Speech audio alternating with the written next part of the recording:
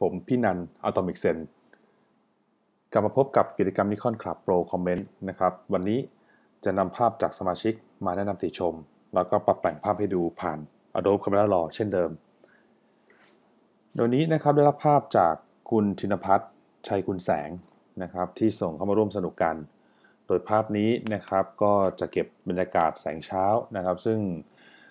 เป็นจุดชมวิวที่สวยมากๆ อีกจุดหนึ่ง ก่อนอื่นนะครับอยากจะให้มาดูในแง่ของการบันทึกภาพก่อน คุณ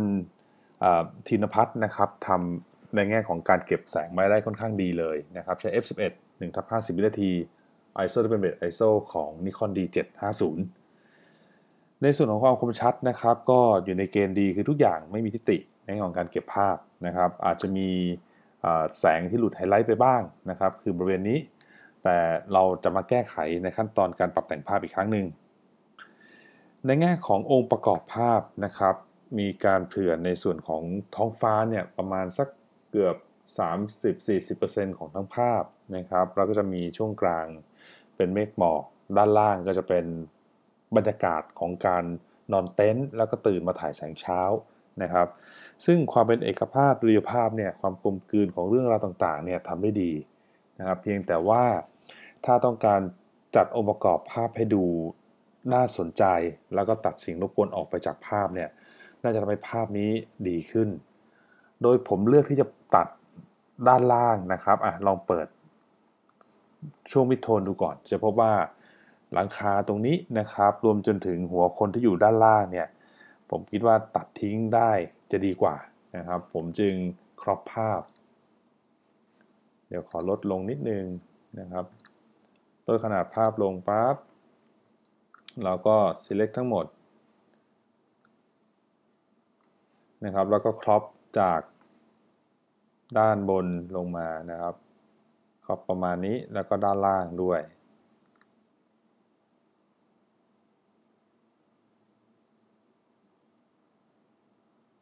โอเค รวมจนถึงคนด้านขวามือนะครับเนี่ยจะเห็นว่าทิศทางของการมองจะพุ่งออก ออกไปด้านขวานะครับ ซึ่งผมจะครอปทิ้งไปเลย เป็นลักษณะนี้นะครับ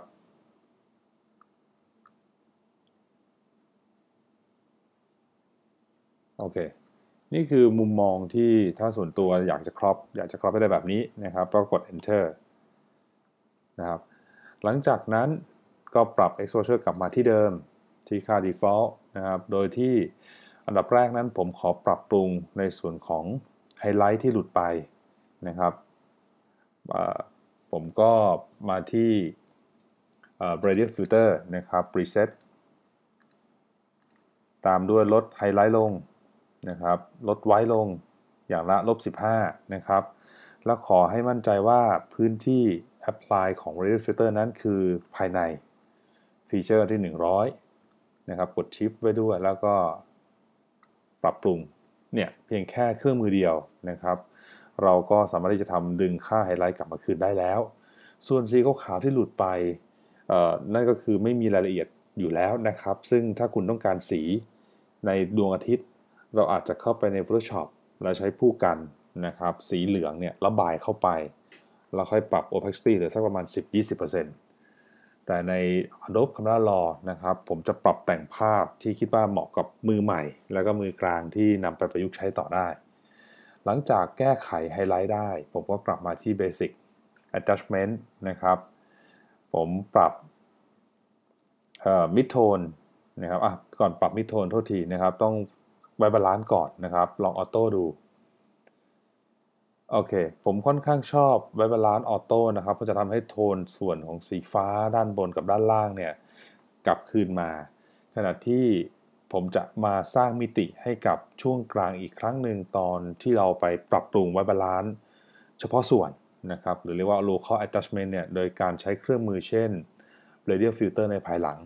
ตอนนี้เนี่ยขอปรับเป็นภาพรวมก่อนละกัน ผมปรับ white balance เป็น auto นะครับ แล้วก็ปรับเพิ่มจาก 4,300 เป็นสักประมาณ 4,500 ตามด้วยนะครับ เปิด exposure ขึ้นนะครับจุด 25จุด 25 นะครับ แล้วก็ clarity นั้นก็ปรับเพิ่มเป็น 15 wideband นะครับ คราวนี้ผมขอสักประมาณ 25 แล้วก็ saturation อีก 5 จากนั้นนะครับเปิด expose เอ่อเปิด shadow ละกันเงาด้านล่างเนี่ยค่อนข้างที่จะมืดเกินไปจนรายละเอียดไม่ค่อยเห็นนะครับ ผมเปิด exposure ขึ้นมาเลย ประมาณสัก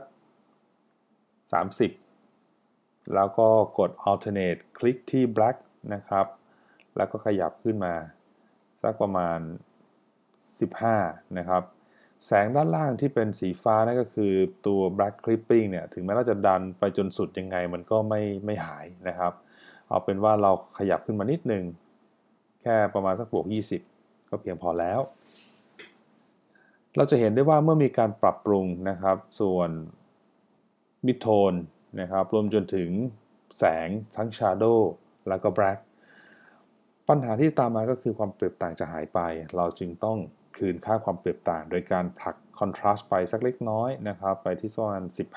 15 จากนั้น ผมก็จะมองภาพแยกเป็นส่วนๆละนะครับ โดยไอเดียตั้งไว้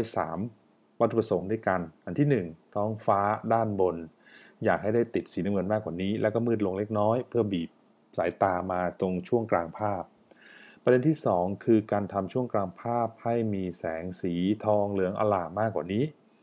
และประเด็นที่ 3 ก็คือ ผมต้องการสร้างมิติให้กับด้านล่างเนี่ยให้ดูน่าสนใจนะครับให้มันมีแสงสีเพิ่มขึ้น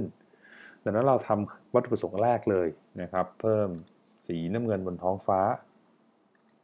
โดยการรีเซ็ตนะครับเราก็เลือกเครื่องมือ Gradient Filter ปรับ Exposure ลงประมาณสักจุด 35 นะครับ แล้วก็เพิ่มสีน้ำเงินเข้าไปสัก 10 หน่วย แล้วก็ลองลากดู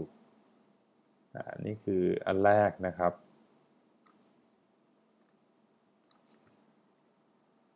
น้ำเงินเพิ่มขึ้นหน่อยเป็น 15อะประมาณนี้นะครับ แล้วก็ในส่วนของท้องฟ้าผมลดความเปรียบต่างช่วงมิดโทนลงนะครับ เพื่อให้เมฆลักษณะดูนุ่มๆ ฟุ้งๆ สักเล็กน้อย จากนั้นนะครับผมก็มาใช้ new gradient filter นะครับ reset เครื่องมือ เปิด exposure ขึ้นไปเป็นจุด 35 แล้วก็เปิด shadow เพิ่มขึ้นเป็นจุดบวก 20 แล้วก็ลากจากล่างขึ้นบน แบบนี้นะครับ โอเค อีกอันนึงก็ลดลงเล็กน้อยนะครับ จากเนี่ยผมปรับปรุงค่อยๆปรับปรุงทีเล็กทีน้อยนะครับอ่าถ้ากลับณตอนนี้นะครับคือ ด้านล่างนะครับ กับด้านบน โอเค อย่าให้หลักสำคัญคืออย่าให้ท้องฟ้าเนี่ยมืดกว่าดินเด็ดขาดนะครับ เป็นกฎเหล็กเลยของการทำภาพท่องเที่ยวนะครับทิวทัศน์ต่างๆ จากนั้นนี่คือข้อที่ 1 ผมผ่านแล้วนะครับข้อที่ 2 คือการทำให้ช่วงกลางภาพนั้นมีแสงสีแดงสีเหลืองมากขึ้นนะครับ ซึ่ง เทคนิคเติมที่ผมใช้เป็นประจำเลยคือการใช้ radial filter reset เครื่องมือ เติมเหลือง เติมม่วงนะครับ แล้วก็เพิ่ม mid tone เข้าไป clarity ลดลง saturation เพิ่มขึ้นประมาณนี้นะครับ ซึ่งค่าที่เพื่อนๆเห็นด้านขวามือเนี่ย เป็นเพียงแค่ค่าตั้งต้น นะเราสามารถปรับปรุงได้ในภายหลัง จากนั้นนะครับผมก็ลากให้แสงที่ได้นี่นะครับ ปรากฏในช่วงกลางภาพแบบนี้ เราอาจจะลดขนาดของภาพลงเพื่อให้ควบคุมทิศทางของแสงตรงนี้ได้นะครับ นี่คืออันแรกอันที่1นนะครับ อันที่2ผมกด new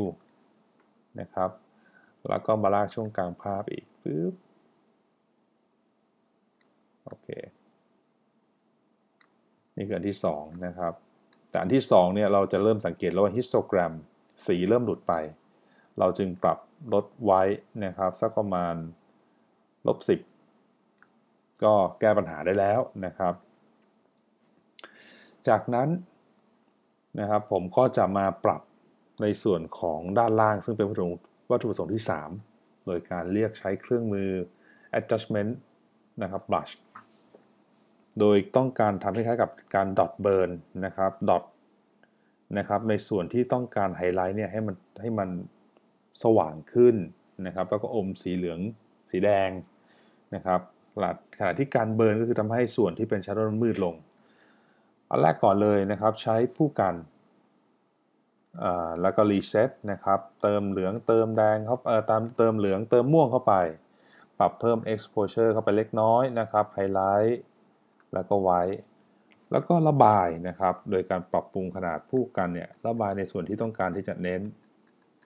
ทิศทางของแสงไฮไลท์ว่าตรงนี้แสงเนี่ยมันคือมีแสงพระอาทิตย์ที่สาดเข้ามา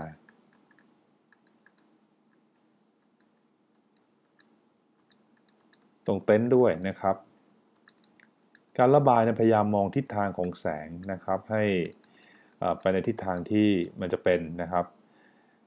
โดยหลักๆ คือผู้กันอันนี้เราต้องการปรับปรุงไฮไลท์เนี่ยให้เด้งขึ้นว่ากันเถอะ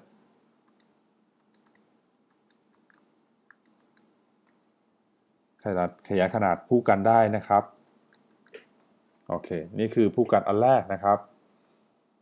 เราลองเพิ่มแสง เพิ่มไฮไลท์ โอเค นี่คืออันแรก ผู้กันอันที่ 2 กด new นะครับ แต่คราวนี้เราจะทำในทิศทางตรงกันข้ามกันเพื่อเบิร์นลด exposure ลงนะครับแล้วก็ใส่น้ำสีน้ำเงินเข้าไปเล็กน้อย แล้วก็ผมใส่ clarity เพิ่มนะครับ แล้วก็อืมอะแค่นี้ก่อน เดี๋ยวค่อยๆ ปรับไม่เป็นไรนะครับ ไม่ต้องใจร้อน เราก็ไล่ในส่วนของที่มันเป็น shadow นะครับ ถ้าหากเข้มไป เราค่อยปรับลดภายหลังได้นะครับ แต่ขอค่อยๆระบายไล่ในส่วนของทิศทางแบบนี้ครับส่วนในที่เป็น Shadow เนี่ยเราก็เน้นไปเลยนะครับ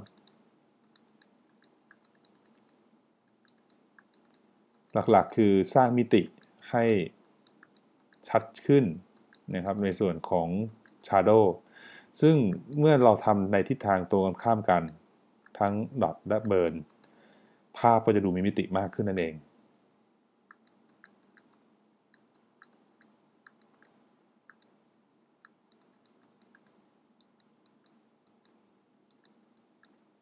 โอเค นี่คือ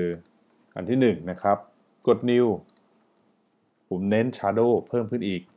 เป็น 2 ผู้กันทับซ้อนกัน เห็นไหมครับ อันนี้ก็จะเข้มขึ้นไปอีก การทำภาพนี้มันจะเสียเวลาก็ตอนที่เรามาเน้นมิติของภาพนี่แหละครับ ส่วนอื่นเนี่ยง่าย ๆ คิดว่าเพื่อนๆคงทำกันได้ไม่ยากนะครับ คือขอให้ฝึกซ้อมแล้วกัน คือการแต่งภาพเนี่ยขึ้นกับการฝึกซ้อม แล้วก็การมองภาพนะครับ ต้องต้องคือต้องมองภาพเยอะๆยิ่งมองภาพเยอะๆนะครับ เราก็จะมีประสบการณ์นะครับ มีมุมมองรสนิยมเพิ่มขึ้น อันนี้คือพู่กันอันที่4นะครับ ผม reset ก่อน แล้วก็อยากจะเพิ่มในส่วนของไฮไลท์บางตัวเนี่ยให้มันเด่นชัดขึ้นมา เพิ่มไฮไลท์เพิ่ม white นะครับ อันนี้เยอะหน่อยแล้วกัน เราค่อยลดลงได้ไม่เป็นไร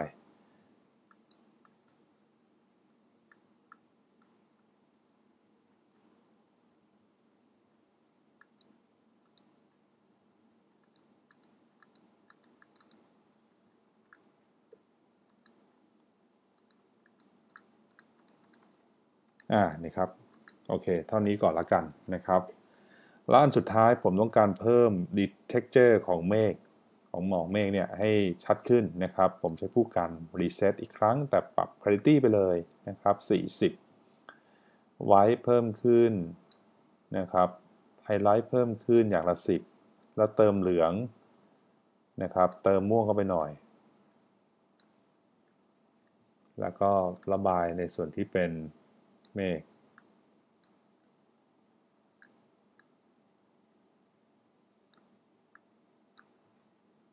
เมฆด้านบนด้านล่างนิดหนึ่งนะครับ new แล้วก็ปรับตรงนี้อีก โอเค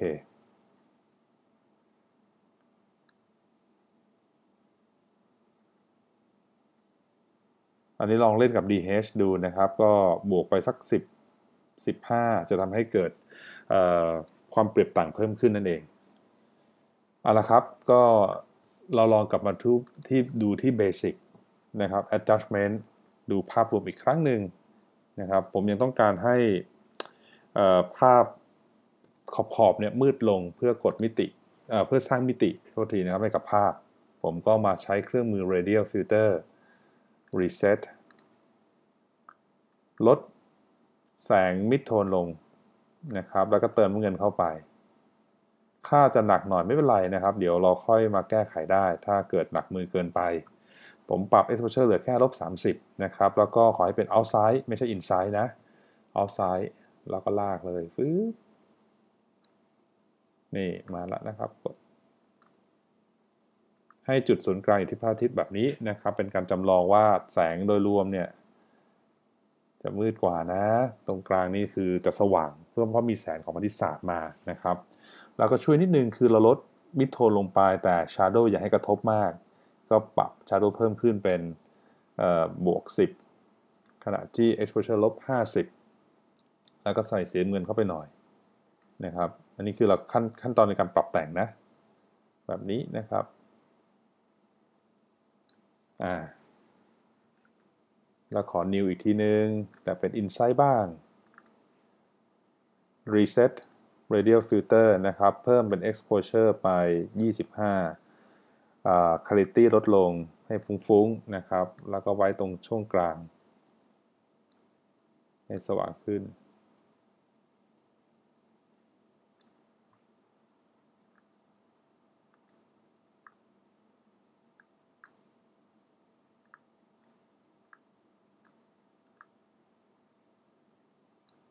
โอเคนะครับ และนี่คือภาพคิดว่าน่าจะเป็นภาพสำเร็จตอนจบแล้วแหละนะครับ ที่เราใช้ในแง่ของเฉพาะ Adobe Camera Raw นะครับปรับแต่งอย่างง่ายๆ ด้วยเครื่องมือที่มีนะครับ โดยอยากให้เพื่อนๆลองไปทำความเข้าใจเพิ่มเติมนะครับ โดยเฉพาะการหัดอ่าน histogram การเข้าใจเครื่องมือพื้นฐานในหน้า basic adjustment ตัวนี้นะครับนี่คือ basic adjustment รวมไปจนถึงการที่จะใช้เครื่องมือปรับแต่งแบบ local หรือเฉพาะพื้นที่ไม่ว่าจะเป็น gradient filter radial filter นะครับ หรือผู้กันวิเศษอย่าง adjustment brush ลองดูภาพ before และ after นะครับ กด fit อ่ารอแป๊บหนึ่งนะครับ อ่า เยอะไป อะนี่ครับภาพ before และ after นะครับก็จะเห็นว่าค่อนข้างที่จะแตกต่างนะครับเพราะเราจะเห็นว่าในส่วนของจริงๆแล้วภาพต้นฉบับเนี่ยจะลกกว่านี้ด้านล่าง แต่นี่ผ่านการครอปเรียบร้อยนะครับภาพด้านซ้ายมือคือภาพก่อน เราจะพบว่าสีเนี่ยย้อมไปด้วยสีส้มแดงทั้งภาพเลยนะครับแล้วก็ชาร์โดค่อนข้างมืด ขณะที่อีกภาพหนึ่งที่ปรับแต่งแล้ว เรามีการเล่นมิติของสี จากเย็นไปร้อนนะครับ เพราะตาเรานี่จะไวต่อสีโทนร้อน นอกจากนี้ยังมีการเปิดชาร์โดด้านล่าง แถมใส่ดอทเบิร์นนะครับในคล้ายๆกับขั้นบันไดตรงนี้ให้มีสีสันอะไรต่างๆ เด้งขึ้นมานะครับผ่านง่ายๆนะครับคือการใช้การปรับแต่งภาพเนี่ยขอให้วางเป้าหมาย แล้วก็หาวิธีการไปสู่เป้าหมายให้ได้ แค่นั้นเองนะครับเดี๋ยวพบกันใหม่ ในคราวหน้า วันนี้ขอบคุณทางนิคอนเซลไทยแลนด์ที่สนับสนุนกิจกรรม และขอบคุณคุณธินพัฒน์นะครับที่ส่งไฟล์สวยๆมาให้แต่งภาพกัน พบกันใหม่คราวหน้า สวัสดีครับ